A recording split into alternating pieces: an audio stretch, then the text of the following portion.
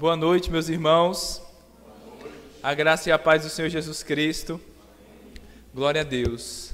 Como foi anunciado aqui pelo pastor Josué, hoje nós iniciaremos uma série de mensagens sobre a salvação. Nós vemos que essa é uma das mensagens centrais da igreja cristã, a mensagem de salvação, a mensagem que nenhuma outra instituição tem, mas apenas a instituição da igreja, a igreja do Senhor Jesus Cristo. Diante disso, meus irmãos, vamos iniciar abrindo as nossas Bíblias no livro de Gênesis, capítulo 2, versículo 17. O livro de Gênesis, enquanto os irmãos abrem, é um livro fundamental para que nós possamos entender a salvação. Assim como os primeiros livros do Novo Testamento falam da salvação, o primeiro livro do Antigo Testamento, do cânon do Antigo Testamento, fala sobre a perdição.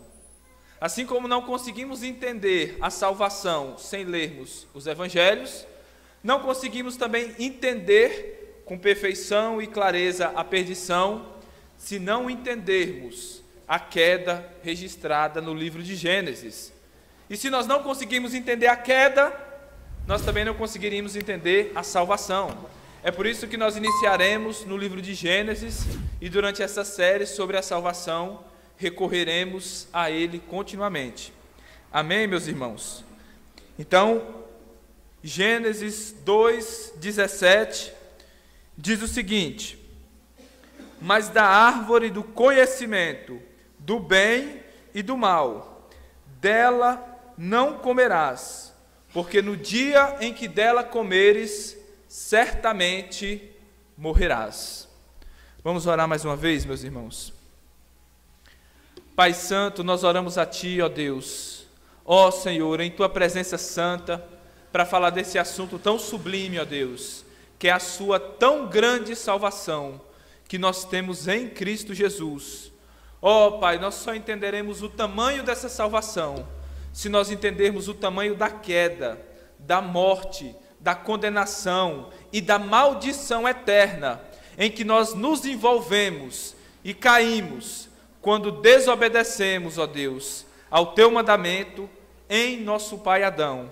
Sim, ó Pai, pois quando Adão pecou, todos nós pecamos nele e nos fizemos então, ó Senhor, participantes das condenações, da morte que vem devido ao pecado. Ajuda-nos, ó Deus, a entendermos melhor, Senhor, o que aconteceu no jardim do Éden, para que nós possamos valorizar mais o que aconteceu na cruz do Calvário. Ajuda-nos, ó Pai, a entender o tamanho do abismo em que nós caímos pelo pecado, para que nós possamos saber como nós somos erguidos, levantados e abençoados com todas as bênçãos nas regiões celestiais em Cristo Jesus.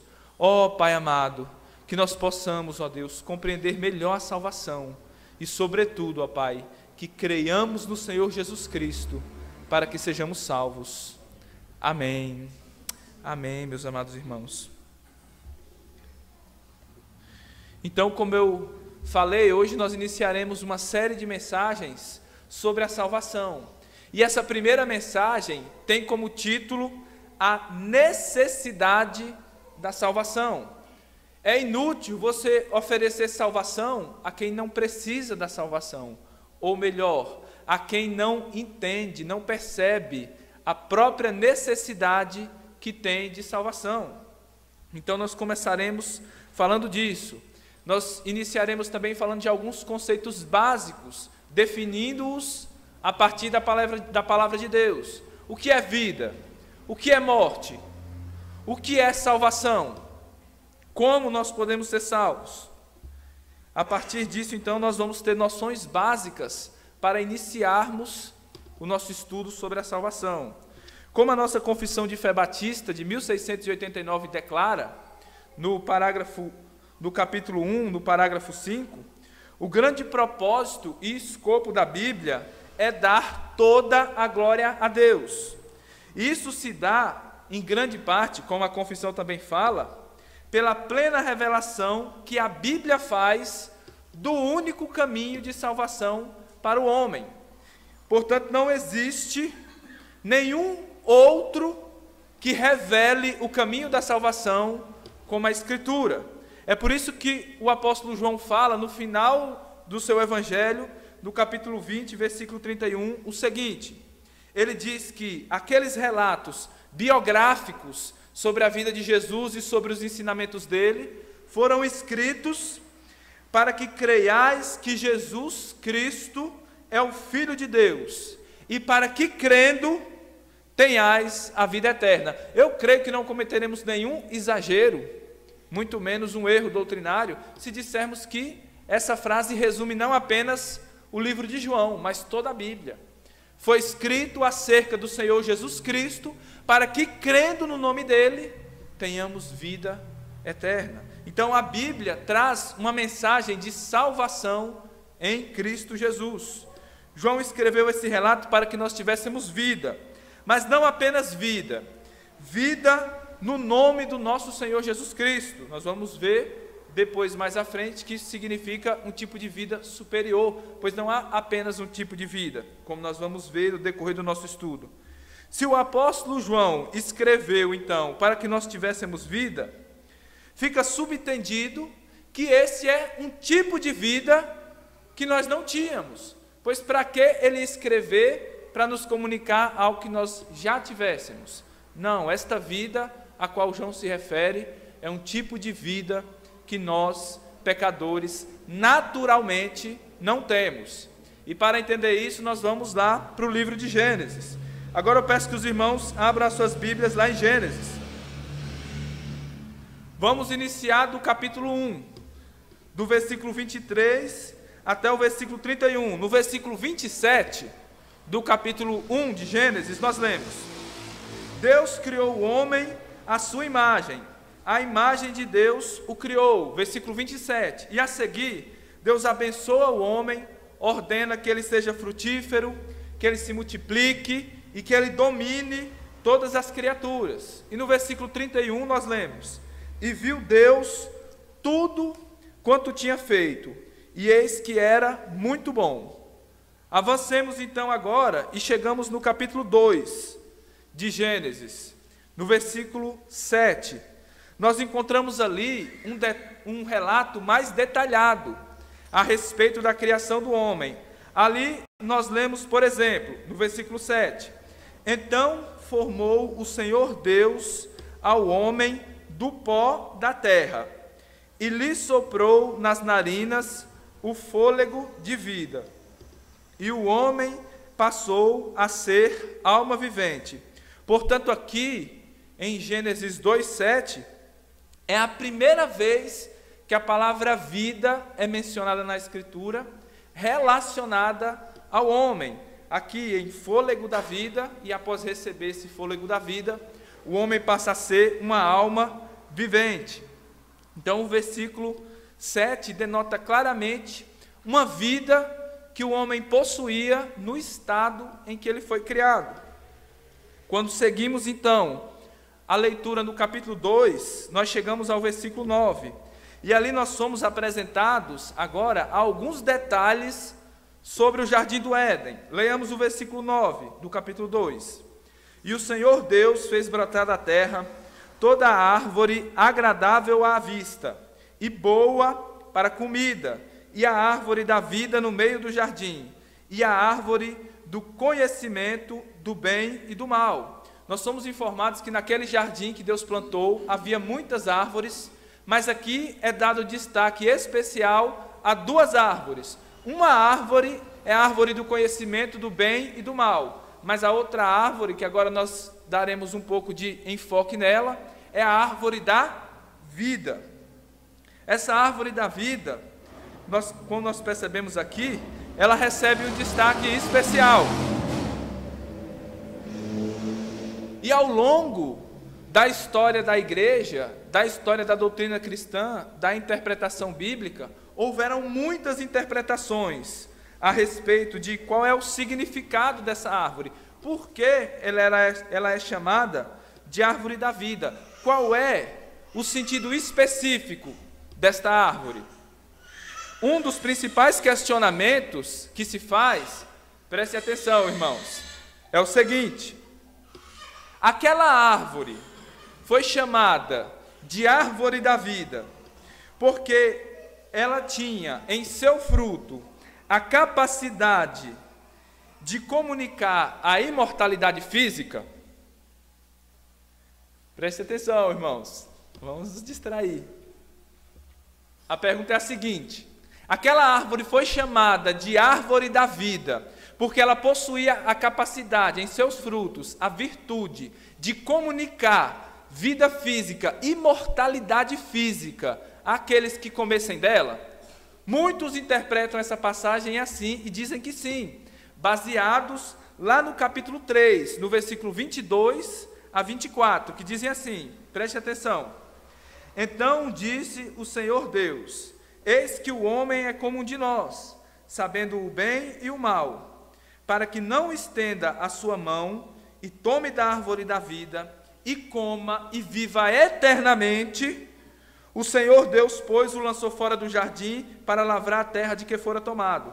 E havendo lançado fora o homem, pôs querubins ao oriente do jardim e uma espada flamejante que andava ao redor para guardar o caminho da árvore da vida. Veja aqui que a espada e os querubins são colocados não para guardar o jardim, mas para guardar o caminho da árvore da vida. Esse é mais um argumento que estes que entendem que comer daquele fruto comunicava imortalidade física usam.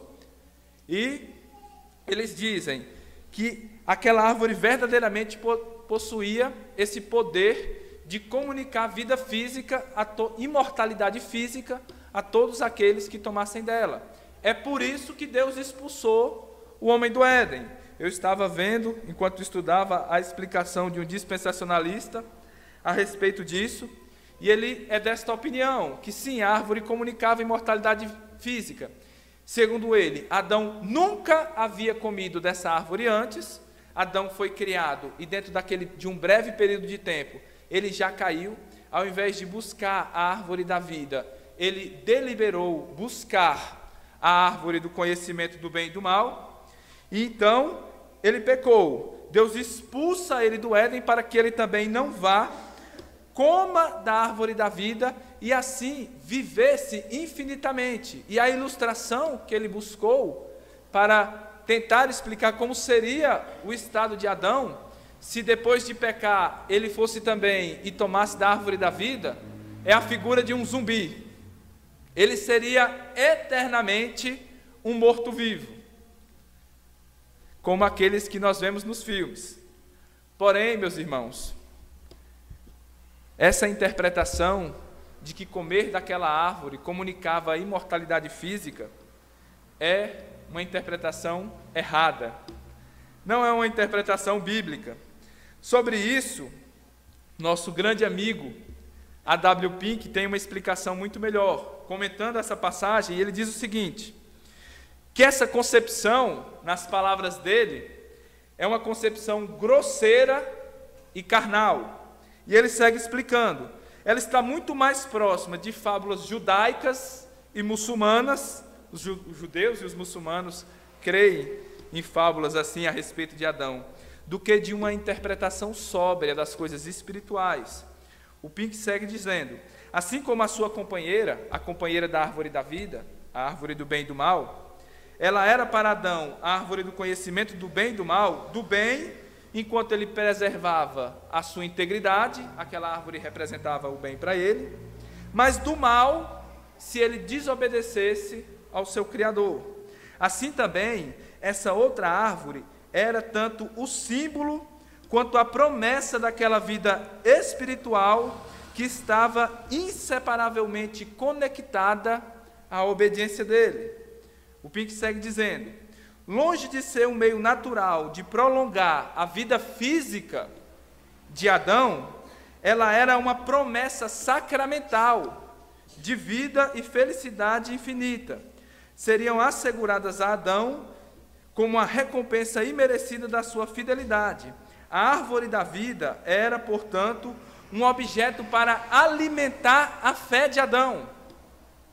A alimentação física, da qual ele teria direito em um determinado momento, seria apenas um símbolo da sua alimentação espiritual pela fé. E sobre isso, o Matthew Henry, Matthew Henry comenta também. Ele diz: essa árvore da vida foi designada principalmente para ser um sinal e um selo para Adão, para assegurá-lo da continuidade da vida e da felicidade, e até mesmo da imortalidade e bem-aventurança eterna, através da graça e do favor do seu Criador, sob condição de sua perseverança em estado de inocência e de pureza.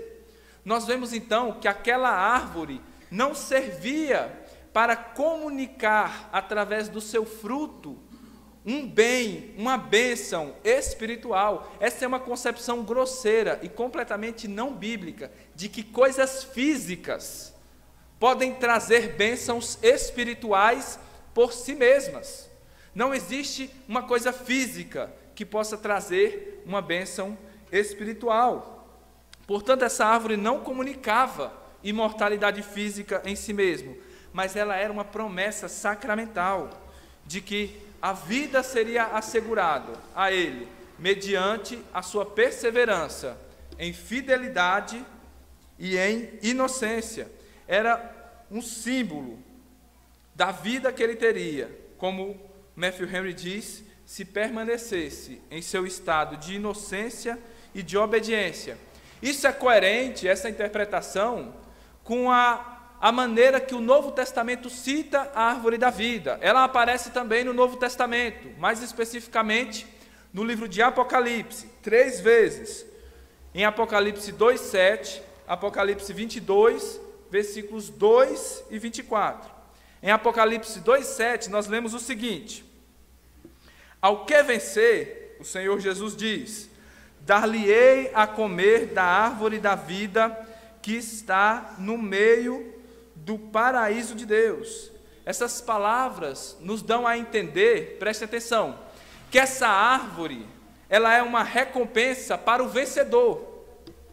Quando os cristãos perseveram em fé e chegam ao curso completo da fé, vencem pela fé, eles são então autorizados a comer desta árvore. Perceba que essa árvore ela é dada como uma recompensa ao vencedor. Perceba que ela é dada após uma fé consumada. Ela é dada depois que eu perseverei e herdei a vida eterna, como recompensa e não como a causa da vida eterna. Eu, por perseverar até o fim, recebo a recompensa de comer da árvore da vida. Eu não persevero porque comi dela, mas porque eu perseverei, eu tenho então o direito de comer dela. Então essa árvore simbolizava isso, simbolizava a promessa que nós temos em Cristo Jesus, que mediante a nossa obediência dele, nós verdadeiramente seríamos recompensados com essas bênçãos espirituais. Ela funcionava de uma maneira sacramental. Para nós entendermos isso, quando nós nos alimentamos na ceia do Senhor, do pão e do vinho, se eu apenas comer o pão e o vinho, sem fé, sem obediência, sem nenhum amor por Deus, isso vai se tornar para mim uma refeição espiritual que vai me abençoar espiritualmente? Não. Porque não é o próprio pão e o próprio vinho que abençoam. Eles sim se tornam meios de me abençoar quando eu participo da ceia do Senhor pela fé, com coração grato, conforme a prescrição do Senhor. Percebamos então, amados, que Aqui, em Gênesis 2, quando fala da árvore da vida, então não está falando de algo que comunica a vida por si mesmo, mas é uma promessa sacramental da vida que nós temos em Cristo Jesus. Se essa é a interpretação verdadeira, como é então que nós podemos interpretar, mais especificamente, Gênesis 3, 22? Releiamos Gênesis 3, 22. Está escrito assim, na parte final: para que não estenda a sua mão, tome também da árvore da vida, coma e viva eternamente. Aqui nós temos aquele mesmo problema que nós estudamos de manhã. É você tirar frases do seu contexto e atribuir o significado sem respeitar o contexto em que ele aparece. Leiamos Gênesis 3, 22 inteiro, não apenas a parte final. Gênesis 3, 22 inteiro diz o seguinte: Eis que o homem é como um de nós, sabendo o bem e o mal. Ora, para que não estenda a sua mão e tome também da árvore da vida e coma e viva eternamente, Deus vai e o expulsa do Éden. Aqui, meus amados, quando Deus profere essas palavras, vejam, ele está usando de ironia. Deus está sendo irônico. Como nós vamos ver, essa passagem aqui, ela acontece depois da queda do homem.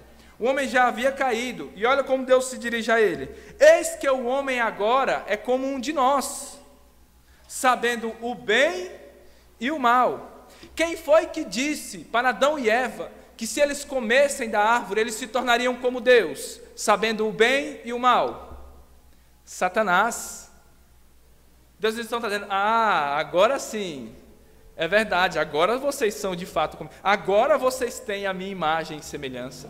Ah, agora vocês são como um de nós. Agora você é como o Pai, o Filho e o Espírito Santo, sabendo o que é o bem e, e o mal. E aí ele segue dizendo: Para que não estenda a sua mão agora e tome também da árvore viva eternamente, Deus já tinha dito que eles morreriam, que eles voltariam ao pó. A morte já estava lavrada sobre eles. Deus está dizendo: vocês poderiam ter diante de vocês a promessa da vida, se obedecessem. Mas como vocês escolheram o mal, vocês agora não terão direito à árvore da vida. Vocês creram na palavra do diabo, ao invés de crerem na minha, e como recompensa, ao invés da vida, vocês terão a morte. É isso que significa essa passagem. Deus está sendo irônico. É mais ou menos quando o pai diz: Não faça isso.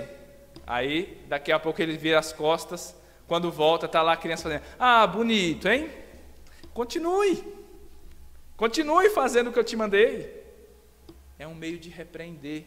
É um meio de você ser irônico e, ao invés de você comunicar verdades literais, você está repreendendo por meio dessa palavra. É justamente isso que Deus está fazendo. Portanto, com relação a essa passagem que fala da árvore da vida, eu pessoalmente creio que Adão não tenha comido da árvore da vida antes da sua queda, porque como nós lemos aqui em Apocalipse, esse comer da árvore da vida é algo que precede imediatamente a vida eterna confirmada na presença de Deus.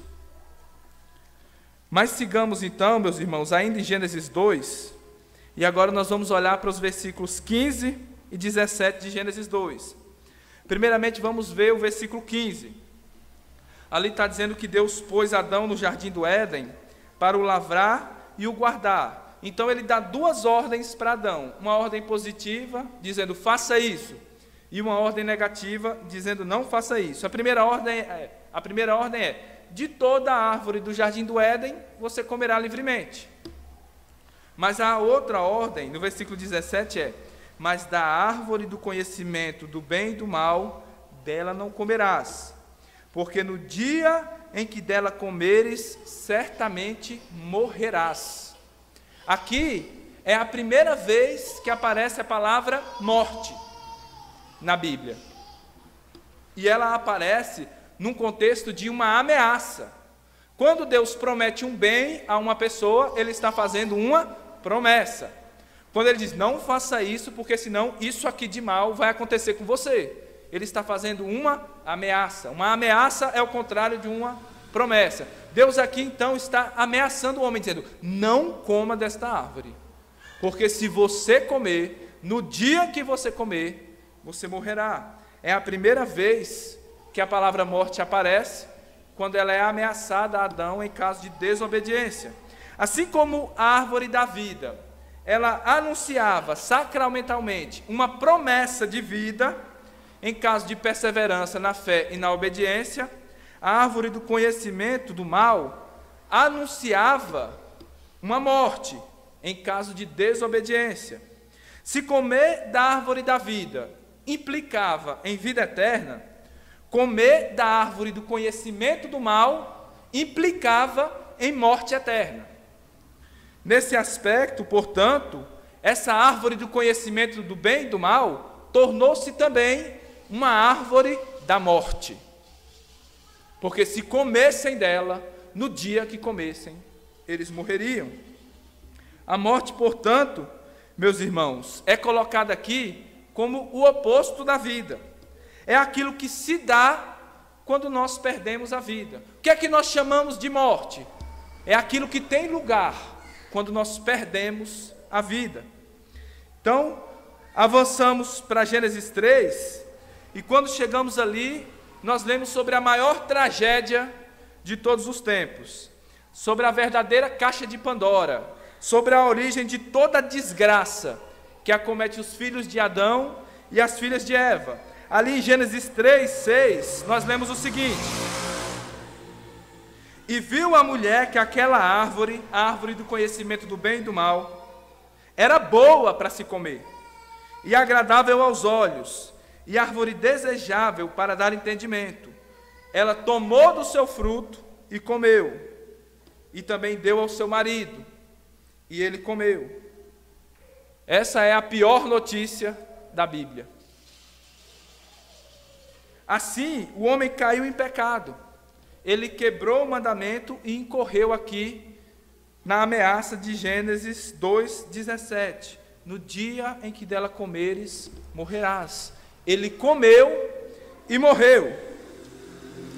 Essa então, esse então é um panorama geral dos três primeiros capítulos da Bíblia que nos mostram como o homem foi criado, a vida que ele tinha, a vida que lhe estava prometida, simbolizada sacramentalmente pela árvore da vida, e a morte em que ele incorreu por ter comido da árvore do conhecimento do bem e do mal.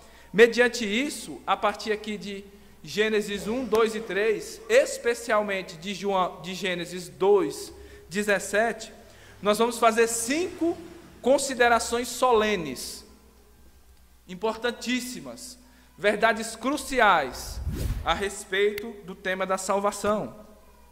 Primeiramente, nós vamos fazer a primeira consideração. Quando Adão pecou, ele morreu. Mas que tipo de morte veio sobre Adão? E a resposta é: dois tipos de mortes. Primeiramente, a morte espiritual veio imediatamente sobre Adão. É por isso que nós lemos em Efésios 2 que os pecadores, antes de crerem em Cristo, eles estão mortos em delitos e pecados. É óbvio que essa morte não se refere ao seu corpo, pois se eles estivessem mortos e enterrados no cemitério, eles não poderiam crer. Esse tipo de morte se refere a uma morte espiritual. Quando Deus disse, Adão, no dia que comeres dela, se comeres dessa árvore, você morrerá, ele morreu. Ele não caiu no chão, morto, mas o seu espírito morreu. Naquele momento, ele verdadeiramente morreu. Ele não morreu apenas fisicamente, ele espiritualmente, ele morreu também fisicamente. Não que ele tenha caído naquele momento e morrido, mas a sentença de morte veio sobre ele. Apenas a execução da sentença foi adiada. Mas naquele momento ele já era um homem morto. Nos países em que há pena de morte, a partir do momento em que o juiz decreta, estabelece a sentença de morte, aquele homem já é considerado um homem morto. Ele já recebe a sua sentença de óbito. As pessoas já começam a repartir as suas posses. Ele já não tem direito nenhum. Perante as leis, perante o Estado, ele já é considerado um homem morto. Ele está aguardando apenas a execução da sua pena. Esse era o caso de Adão. Ele era um homem morto espiritualmente e morto também fisicamente. Ele estava apenas aguardando a execução da sua sentença. Assim como todos os homens que nós vemos hoje, os filhos de Adão que estão andando por aí, nós um dia já fomos desses. Já nascemos mortos, espiritualmente mortos e também sobre nós uma sentença de morte física.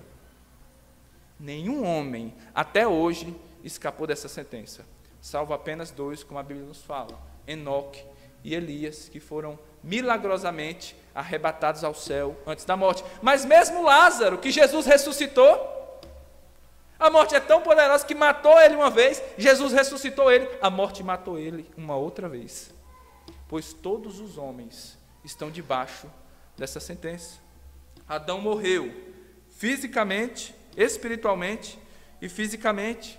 Como Deus diz: Tu és pó, e ao pó te tornarás. O seu corpo voltará a ser pó. Nós vemos então que há dois tipos de mortes: há uma morte espiritual e há uma morte física.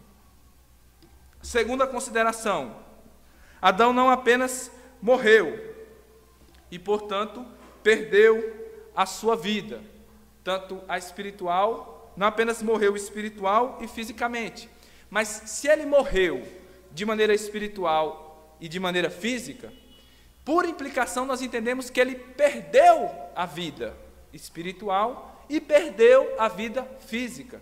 Então, a partir desse texto de Gênesis 2:17, nós sabemos então que existem dois tipos de vida também: uma vida espiritual e uma vida física. Esses dois castigos então vieram sobre Adão.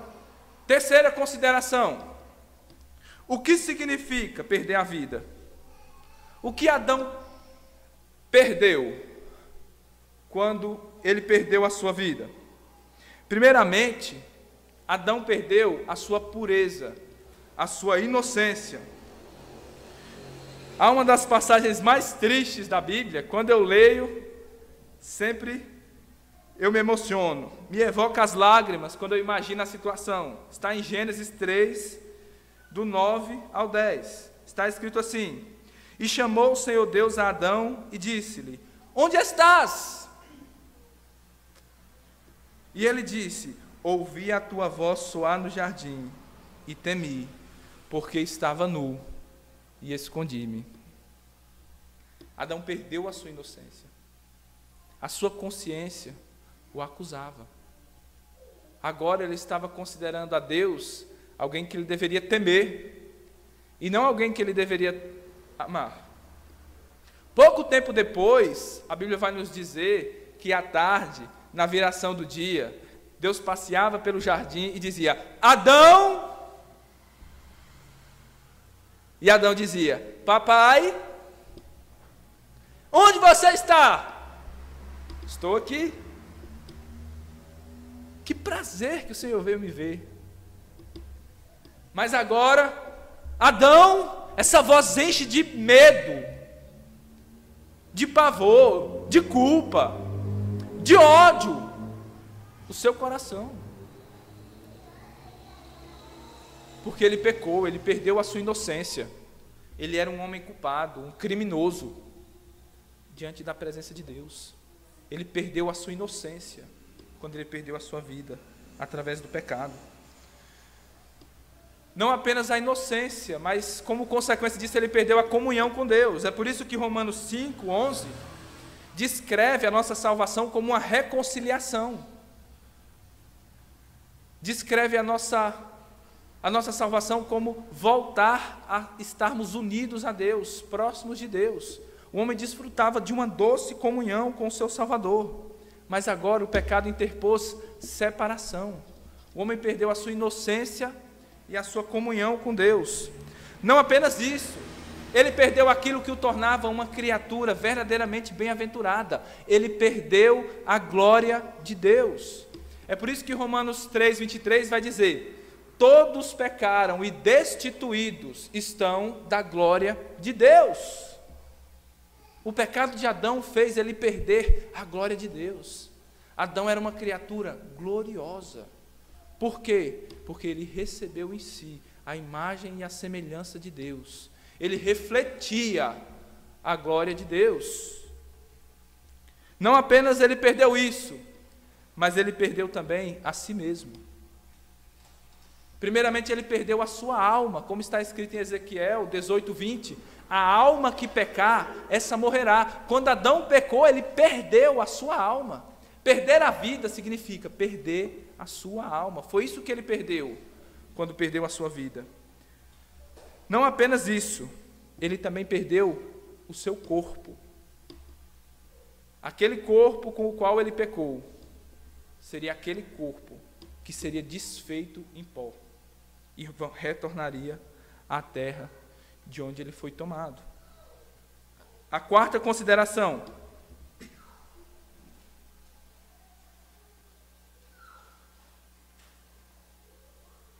Depois de tudo isso que nós dissemos, o que significa ser salvo? Quando a Bíblia fala de salvação, ela está falando do quê? Salvação é reverter os efeitos da morte causada pelo pecado e receber vida em Cristo Jesus.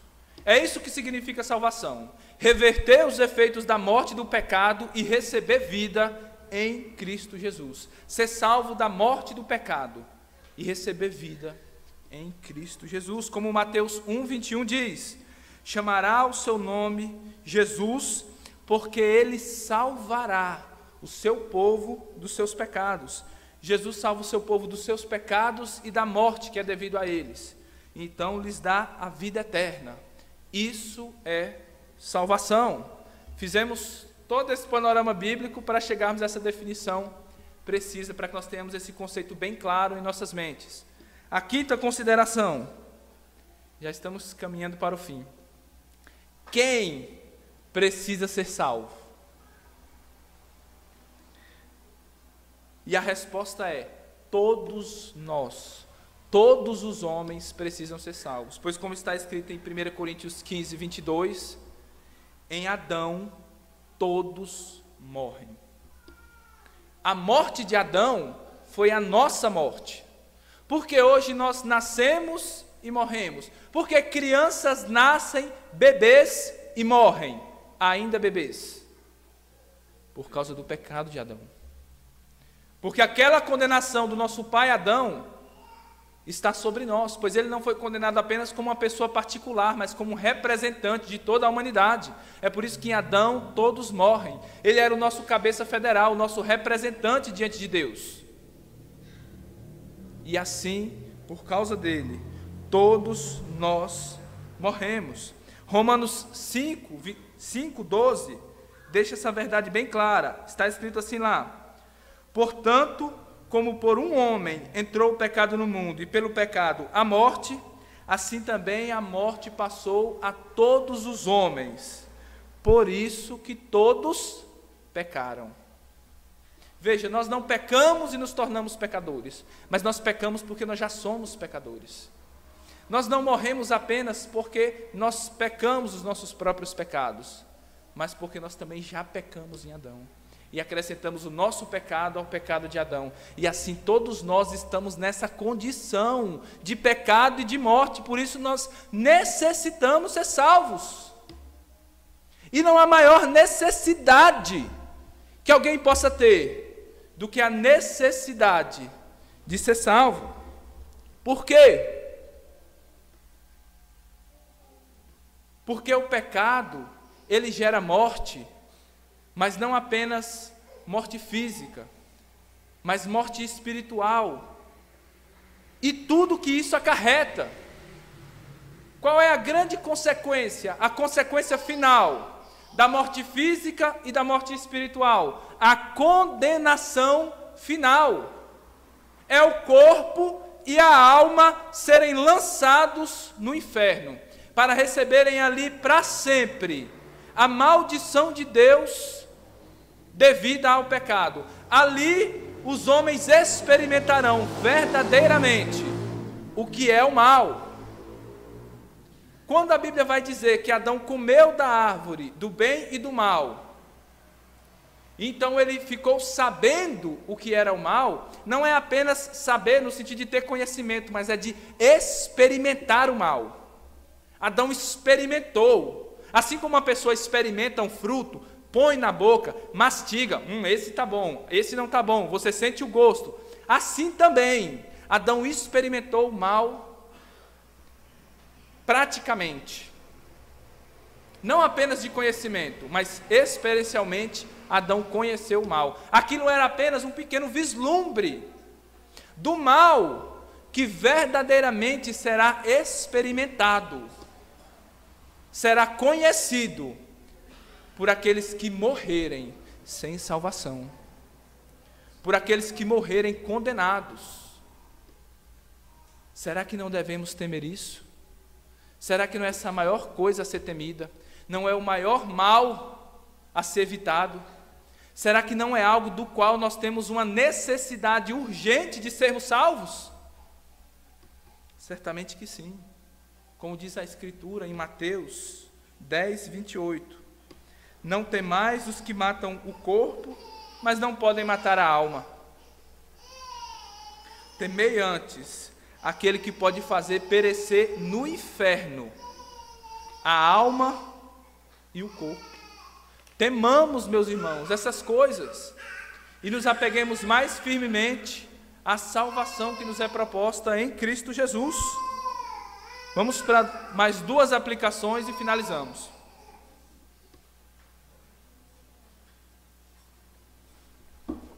A pergunta que eu faço a vocês, a todos vocês, é muito séria e muito solene. Nós sabemos que existem dois tipos de morte: a morte física e a morte espiritual. Aqui não tem ninguém morto fisicamente.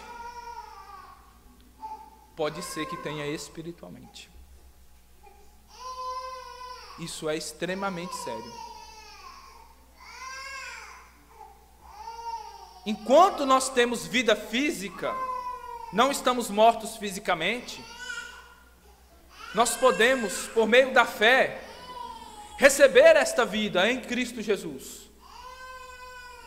Porém, nós temos até apenas o momento da nossa morte para crermos em Cristo e sermos salvos. Pois se morrermos em nosso corpo, espiritualmente mortos em nossa alma, estaremos condenados. Então a pergunta que eu faço para todos vocês, meus irmãos, de maneira muito solene é: você precisa de salvação? Dessa salvação que Cristo veio trazer? Quem precisa de salvação é aquele que está morto, pois a salvação é anular os efeitos da morte e trazer a vida. Um princípio básico pelo qual nós podemos saber se estamos vivos ou se não estamos vivos, é o seguinte: a vida sempre busca os meios de se manter e busca se afastar daquilo que a prejudica. Esse é um princípio essencial da vida. Ela busca aquilo que vai mantê-la e se afasta daquilo que vai prejudicá-la. Um exemplo prático que nós podemos dar é se eu sair ali fora, tiver um cachorro e eu fingir que vou dar comida para ele, ele vai dizer: Ah, vão me dar comida. Isso é bom para a minha vida. Ele vai se aproximar de mim. Mas se ele estiver passando lá e eu fingir que vou jogar um objeto nele, falo, isso vai ameaçar a minha vida. Isso está prejudicando a minha vida. Ele vai fugir daquilo. Certo? A vida busca os meios de se preservar e se afasta daquilo que pode prejudicá-la. Um outro exemplo é: eu estou morrendo de sede. Eu quero um copo d'água, porque isso aqui vai preservar a minha vida. Mas aí a pessoa toma aqui esse copo d'água. Fala, ai que bom, está precisando, mas está cheio de veneno. Não, se tem veneno eu não vou tomar. Por quê? Porque vai prejudicar a minha vida. Esse é um princípio da vida física, mas é um princípio também da vida espiritual. Alguém que está vivo espiritualmente, examine-se se você está vivo espiritualmente. Porque se você está vivo espiritualmente, você vai buscar os meios de manter a sua vida espiritual. A vida espiritual, tanto quanto a vida física, ela precisa ser mantida. Para darmos um exemplo, nós lemos ali em Isaías 38, quando o rei Ezequias adoece. Deus manda o profeta Isaías e até ele diz: Você vai morrer. Ele chora, ora, suplica a Deus. Deus fala para que o profeta Isaías retorne lá e diz assim: Você vai viver mais 15 anos. O que é que Deus disse? Você vai viver 15 anos. Se Deus disse, está dito, ele vai viver 15 anos. Isso é uma certeza, uma segurança inabalável. Agora, meus irmãos, o fato dele saber que vai viver mais 15 anos, isso faz com que ele diga assim: ah, se eu vou viver 15 anos, então agora eu não vou mais comer, agora eu não vou mais beber, agora eu não vou mais respirar, Porque Deus disse que eu vou viver 15 anos. Faz sentido isso? Não! Deus sim faria Ezequias viver mais 15 anos, mas ele usaria meios para manter Ezequias vivo. Que meio é esse? A comida, a bebida, a respiração, se ele ficasse doente, procurasse um médico. Porque Deus, ele cumpre a sua palavra em nós através dos meios. É assim no mundo físico, quanto à vida física. E é assim no mundo espiritual, na vida espiritual. Uma pessoa, se chega para mim e pergunta assim: William, eu já sou salvo. Será que eu preciso ouvir a palavra da salvação hoje? É como uma pessoa diz assim: William, eu almocei ontem, será que eu preciso almoçar hoje? É óbvio que sim.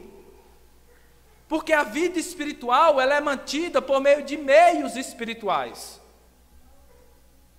Só existe um tipo de pessoa em um tipo de estado que não busca esses meios espirituais para manter a vida. São aqueles que estão mortos. Um morto não procura um prato de comida. Assim como uma pessoa que está espiritualmente morta não procura a Bíblia. Não procura a oração. Não procura a ceia.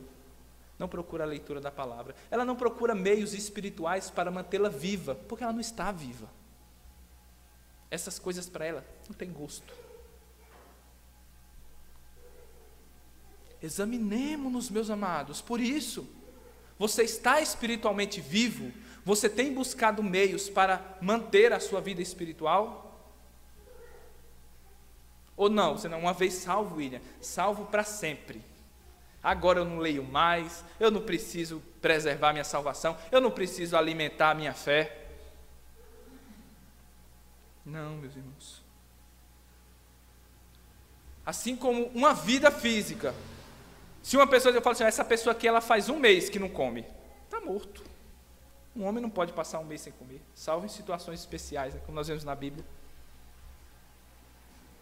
Uma pessoa que está longe dos meios espirituais de salvação e está tranquila, relaxada, não sente falta disso, isso é um sinal seguro que essa pessoa pode estar morta. Tem alguém aqui em nosso meio que não deseja esses meios espirituais que podem manter a vida.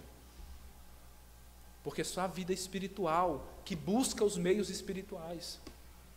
É a vida espiritual que busca se afastar daquilo que pode prejudicá-la.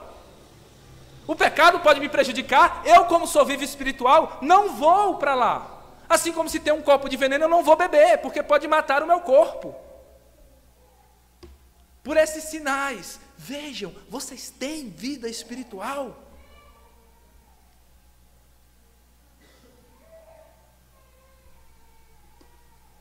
Se não temos, precisamos de salvação.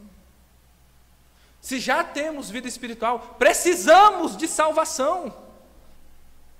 Precisamos continuamente nos, nos alimentar da palavra de Deus, nem só de pão viverá o homem mas de toda a palavra que sai da boca de Deus, hoje, amanhã e continuamente. Mantemos a nossa vida espiritual pelos meios espirituais, assim como mantemos a nossa vida física pelos meios físicos. Em segundo lugar, nós necessitamos de salvação. Mas de que tipo de salvação nós necessitamos? Nós não precisamos apenas de vida, como nós lemos ali em João 20, 20 31. Nós precisamos de vida em nome de Jesus. A vida que ele veio trazer. Em João 6,47, o Senhor Jesus Cristo diz: preste atenção, meus amados. Na verdade, na verdade. João só usa esse na verdade. Jesus Cristo só usa esse na verdade, na verdade, quando ele quer falar algo extremamente sério. Ele diz: Na verdade, na verdade vos digo, aquele que crê em mim tem a vida eterna. Como eu faço para adquirir essa vida eterna se eu estou morto espiritualmente? Se eu me vejo em necessidade dessa salvação para que eu não vá para o inferno? Como?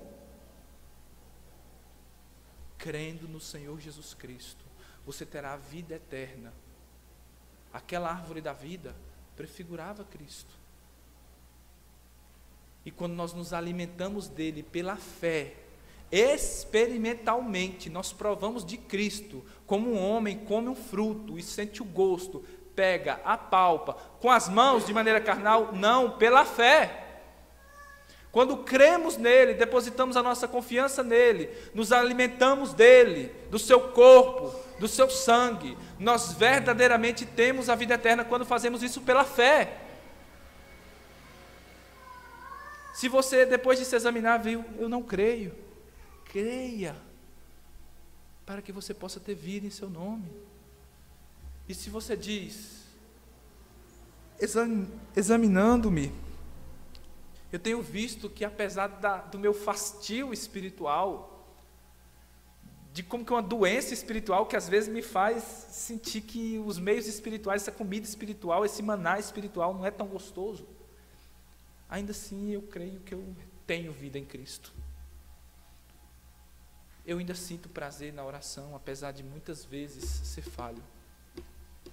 Amados, o pecado ainda habita em nós e faz com que muitas vezes os meios espirituais se tornem sem graça para nós. Mas se você já creu, se você tem vida eterna, a sua maior necessidade é se alimentar cada vez mais de Cristo. Quando uma criança nasce, o que, é que ela precisa? De leite. Que, que nós, como crentes, precisamos? Se somos novos convertidos, o leite da palavra. E se somos mais avançados em idade espiritual, alimento sólido da palavra. Que possamos nos alimentar de Cristo pela fé. Tenhamos essa vida preservada. Para que nós possamos, meus amados, verdadeiramente estar com Cristo no céu. Não negligenciemos. Quantas pessoas eu já conheci que, supondo ter a vida eterna, negligenciaram os meios espirituais e hoje estão chafurdando na lama com os porcos. Mas, William, uma vez salvo, Cristo preservará essa vida. Preservará por meio dos meios, dos meios de graça. Uma pessoa que está longe dos meios de graça, ela está longe da vida ela está minguando, ela está morrendo. Assim como uma pessoa que para de comer, naquele momento ela começou a morrer. Examinemos-nos, meus irmãos, e aprendamos a nossa doutrina, pelo amor de Deus, da palavra de Deus. Não aprendamos a nossa doutrina de frases soltas, de jargões evangélicos, de uma teologia que se diz reformada, mas que não possui fundamento na Escritura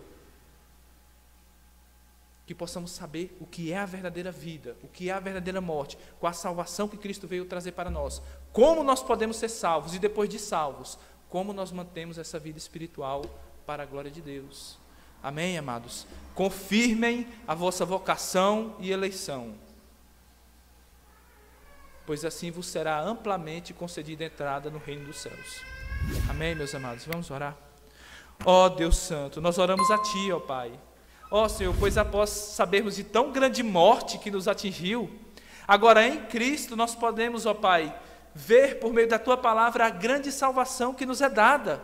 Ó Pai, tu não apenas nos dá a salvação, mas o Senhor nos dá os meios para manter a nossa salvação, para manter a nossa vida espiritual. Pois a tua palavra diz, ó Deus, que assim como o homem em seu corpo físico precisa de pão, nós também em nosso corpo espiritual, em nossa alma, Precisamos da Sua palavra, pois nem só de pão viverá o homem, mas de toda a palavra que sai da Sua boca. Ó oh, Pai amado, agora, neste momento em que nós vamos nos alimentar, ó Deus, espiritualmente, pela fé, do corpo e do sangue do Seu Filho Jesus Cristo, ajuda-nos, ó Deus, ó Senhor, a nos nutrirmos espiritualmente para a glória do Teu santo nome, ó Deus. Ó oh, Pai amado, e se há alguém que não creu ainda, ó oh, Senhor, eu te suplico, Deus, pelas misericórdias de nosso Senhor Jesus Cristo.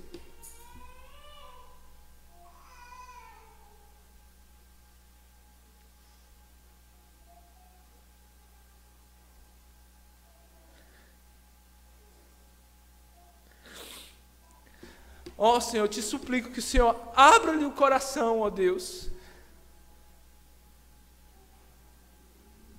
e lhe dê vida pela fé em nosso Senhor Jesus Cristo. Oh Deus, opera a salvação, ó oh, Pai, em nome do Teu Filho Jesus Cristo. Amém.